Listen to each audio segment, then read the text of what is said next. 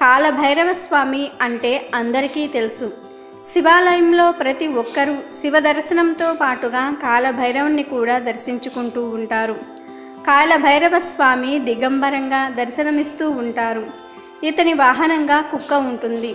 కళ్ళు భయంకరంగా పండ్లు కూరలుగా చాలా పదునుగా ఎర్రటి మాలను వేసుకుని ఉంటాడు. ఈ విషయాలు అందరికీ తెలిసే ఉంటాయి. అయితే కాలభైరవుడి గురించి వెలుగులోనికి రాని కొన్ని సత్యాలు ఉన్నాయి. అవి ఏమిటో ఈరోజు మనం ఈ వీడియో ద్వారా తెలుసుకుందాం. కాలభైరవులలో కాల అంటే సమయం భైరవ అంటే సృష్టి నిర్వహణ.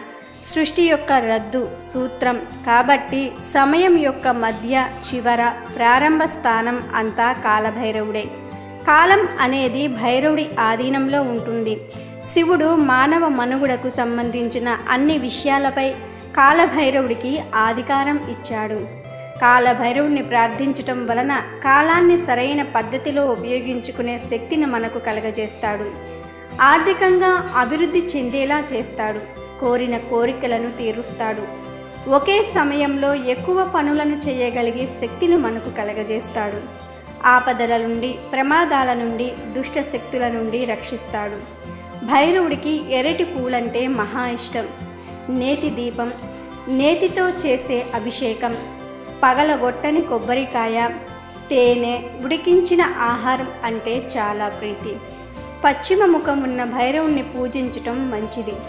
దక్షిణ ముఖం ఉన్న భైరవుణ్ణి కూడా పూజించవచ్చు. కానీ తూర్పు ముఖం ఉన్న భైరవుణ్ణి మాత్రం ఎట్టి పరిస్థితుల్లోనూ అస్సలు పూజించకూడదని పండితులు చెప్తున్నారు. భైరవుడి పూజించడానికి సరైన సమయం అర్ధరాత్రి. అర్ధరాత్రి సమయంలో భైరవ మరియు అతని భార్య భైరవి కలిసి ఉంటారని మరియు భక్తులకు దర్శనమిస్తారని పురాణాలు చెప్తున్నాయి.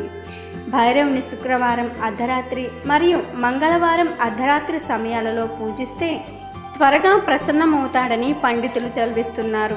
కాలభైరవుణ్ణి ఎనిమిది రకాల పూలు ఎనిమిది రకాల ఆకులతో పూజించాలి. కాలభైరవుడు ఎనిమిది రకాల భైరవులుగా ఆవిర్భవించారు. వీరినే అష్టభైరవులు అంటారు. వీరు ఆకాశం అగ్ని గాలి నీరు భూమి చంద్రుడు సూర్యుడు ఆత్మలకు ప్రతిరూపాలు. ఈ ఎనిమిది భైరవులు చూడడానికి వేరుగా వాహనాలు ఆయుధాలు కూడా వేరుగా కలిగి ఉంటారు.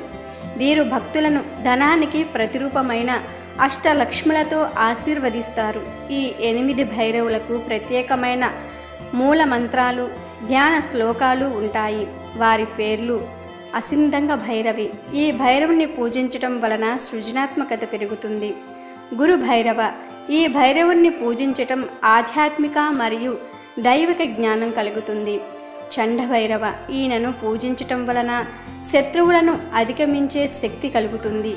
క్రోధ భైరవ ఈ భైరవుణ్ణి పూజించటం వలన చేసే పనిలో నెంబర్ వన్గా ఉంటారు. ఉన్మత భైరవ ఈ భైరవుణ్ణి పూజించటం వలన మనిషిలో ఉండే నెగిటివ్ థాట్స్ పోతాయి. కపాల భైరవ ఈ భైరవుణ్ణి పూజిస్తే చేసే ప్రతి పనికి మంచి ఫలితం దక్కుతుంది. భీషణ భైరవ ఈ భైరవుణ్ణి పూజించటం వలన ప్రతికూలతలు తొలగిపోతాయి. సంహార భైరవ ఈ భైరవుణ్ణి పూజిస్తే పాత ప్రతికూల కర్మల నుండి విమోచన లభిస్తుంది. ఈ ఎనిమిది భైరవులనే కాకుండా ఇంకొక ప్రత్యేకమైన భైరవుడు కూడా ఉన్నాడు. ఆయన పేరే స్వర్ణాకర్షణ భైరవ. ఈయన బంగారు వస్త్రాలను ధరించి బంగారుపు ఛాయతో మెరుస్తూ ఉంటారు. శిరస్సుపై చంద్రుడిని ధరించి నాలుగు హస్తాలను కలిగి ఉంటాడు. ఒక చేతిలో బంగారపు పాత్రలను కలిగి ఉండి భక్తులను అనుగ్రహిస్తాడు. ఈయనను ప్రత్యేకించి మంగళవారం నాడు పూజించటం వలన అద్భుతమైన ఫలితాలు కలుగుతాయి.